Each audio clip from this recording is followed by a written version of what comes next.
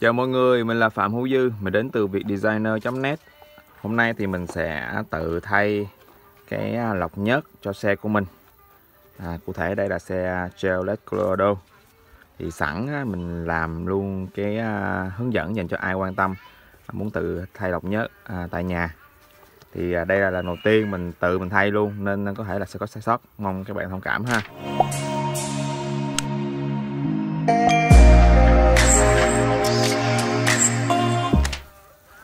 Đầu tiên thì à, mình nên à, à, tìm hiểu và coi xem mình thay cái lọc nhất à, như thế nào. Thì các bạn có thể à, ra ngoài tiệm hỏi lại ví dụ như xe mình là à, Mazda hay là gì đó hay là nêu rõ cái cái tên xe ra thì để à, mình mua cho đúng cái là lọc nhất. Đó. thì như mình đây thì là lọc nhất này. Lọc nhất của mình thì à, loại thường giá khoảng à, 100 ngàn à à, thành ra là các bạn à, nó giá nó cũng tương đối mềm nên mình nghĩ là mỗi lần thay nhớt các bạn nên thay luôn cái à, lọc à, nhớt này à, cho nó an tâm. Đó. rồi sau đó là tiếp tục là mình xác định cái vị trí cái chỗ mà lọc nhớt của mình nằm đâu để mà mình có thể mình mở ra mình thay. Thì như cái xe của mình á xe Colorado á thì lọc nhớt nằm đây nè các bạn. Tức là đó, mình phải mở cái ống à, ống này ra. À, cái ống à, này ra thì à, mình mới mở được. À, còn với cái xe các các bạn thì à, có thể nó cũng nằm đâu đó ở đây. Mình chưa có thay bây còn không có rành nên mình không dám chắc. Thì nói chung các bạn có thể hỏi bên hãng à, để kỹ càng hoặc là tham khảo trên mạng à, coi à, đâu để mình tự mình mở ra mình thay. Rồi mình à, vừa vặn cái cái ống này ra rồi. Thì mình à, đảo ra đây. Thì đây đây chính là cái nắp à, lọc nhớt nè các bạn. Bây giờ mình sẽ dùng cái tiếp. À, đối với xe Cordo thì à, nó là dùng tiếp 27 à, phải có thêm cái đầu nối cho bạn. Chứ không là tại vì cái này nằm túi trong đây mình có đầu nối. Mở.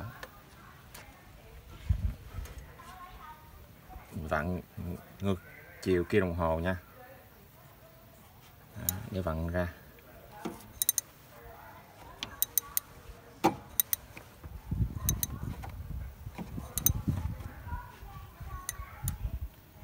Rồi giờ nó dặn nè.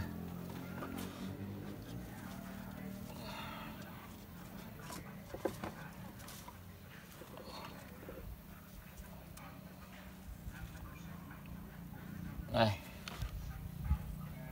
Cái lọc nhất sau à, hơn 10.000 cây số sử dụng.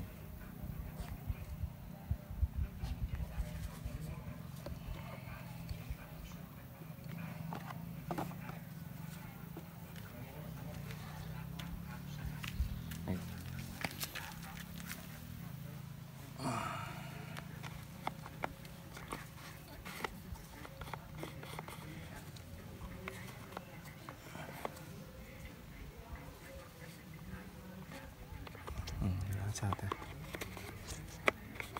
Nó có cái lẫy gì trong đây? Hay gì nó khó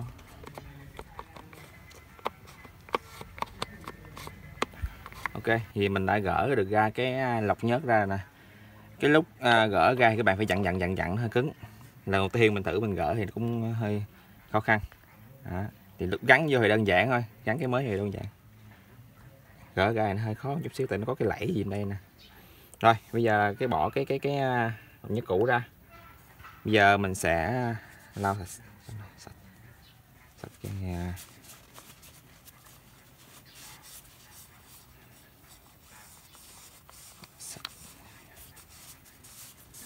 Rồi.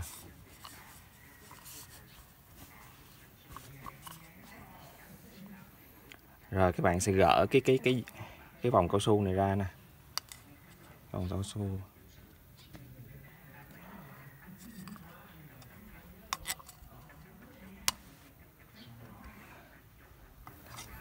các bạn dùng cái dít này gỡ được chứ mình không có móng tay nên mình không có gỡ được. À, đây. Cái vòng cao su. Các bạn gỡ vòng cao su ra. Rồi. Bây giờ là mình sẽ mở. À. mình sẽ mở cái cái lọc nhớt mới mua đây hơn 100 ngàn. Đây, lọc nhất mới mua đây các bạn. Trăm ngàn. Cũng tương tự như cũ. Đây các bạn sẽ lắp lại y chang như lúc càng tháo ra. Bây giờ là mình sẽ gắn cái vòng cao su này vào cái cốc cái nắp.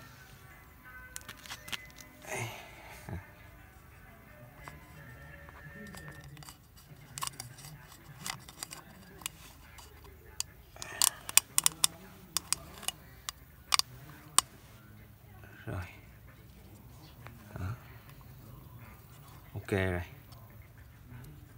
Đó. sau đó.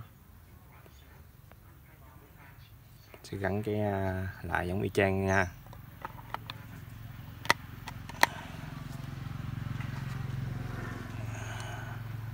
Gắn vào thì các bạn cứ đẩy đẩy đẩy một hồi là nó khớp khớp nằm giữa chứ à, cứng cứng nè.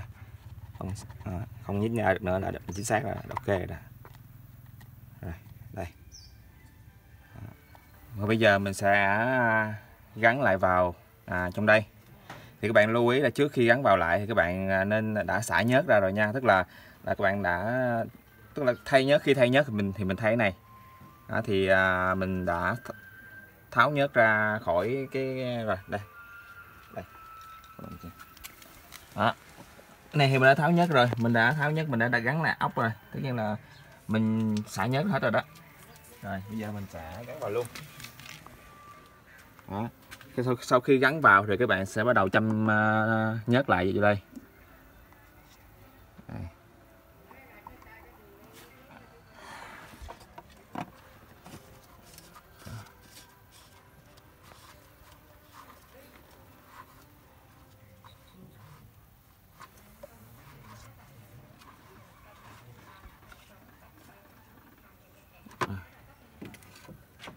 Giờ sẽ à, dặn ngược cái chi chung. Bây giờ dặn dặn lại đúng chiều kia đồng hồ. Để cho nó vào.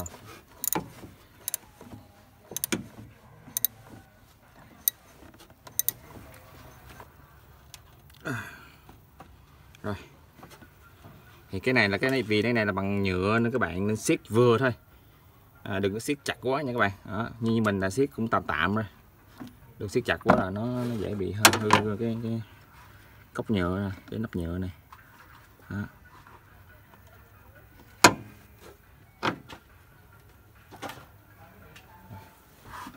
Rồi, sạch sẽ. Rồi. À, sau đó là gắn lại cái cống này à, đối với xe của mình Colorado còn cái xe khác thì không biết sao. Là ok coi như là xong à, sau khi mà gắn rồi các bạn bắt đầu à, tiến hành à, đổ nhớt vào thay nhớt à, nhớt mới. Thì à, mình cũng có làm cái video chuẩn bị làm luôn video à, thay nhớt luôn nè. Tức là mình đã làm à, thì các bạn nào mà có cần nhu cầu xem à, cách à, thay nhớt à, cho xe ô tô tại nhà thì các bạn cũng vào kênh youtube mình các bạn xem ha. Còn cơ bản là à, cái thay lọc nhớt à, nó đơn giản vậy thôi. Đó rồi.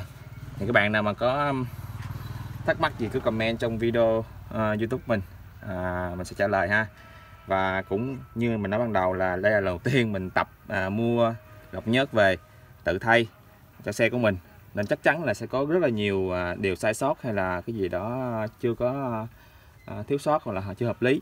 Thì các bạn anh chị em nào mà là thợ thì à, vào xem thì à, vui lòng à, có thể à, góp ý thêm cho mình để cái video à, hoàn thiện hơn. À, vậy ha. À, ai cũng có muốn mua lọc nhớt hay gì đó mình cũng sẽ gửi lên cho các bạn mua cũng. Rồi. À, cảm ơn các bạn đã xem video nha. Chào mọi người.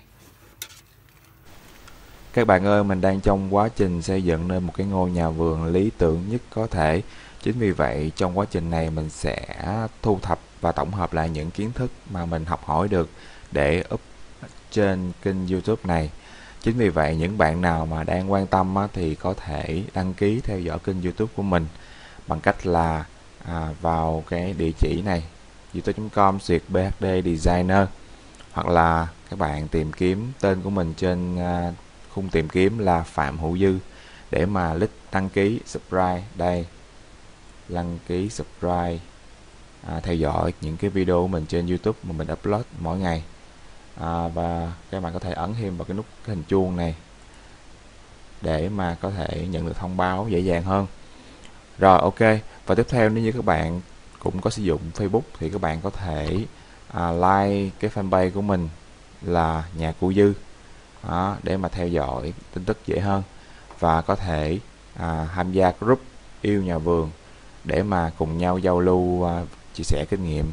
Và các bạn cũng có thể kết bạn với mình à, ở Facebook cá nhân là Phạm Hữu Dư. Đây link đây. Thì những cái link uh, Facebook và link YouTube thì mình sẽ để ở mô tả video ở mỗi video.